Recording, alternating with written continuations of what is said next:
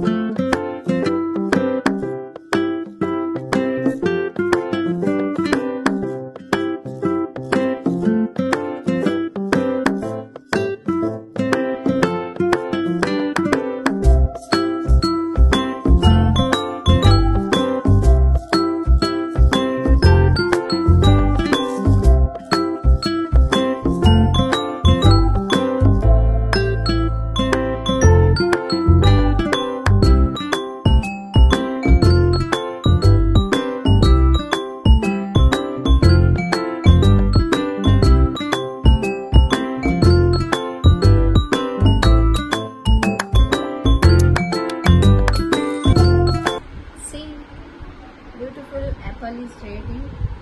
you try at home